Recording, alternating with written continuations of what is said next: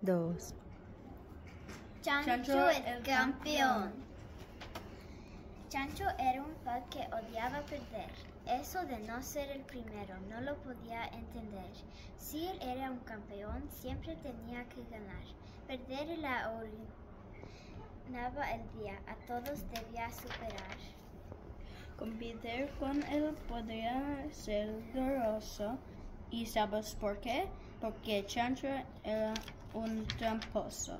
Si el casualidad perdía, el llanto no se hacía esperar. Gritaba y bataleaba y nada lo podía consolar.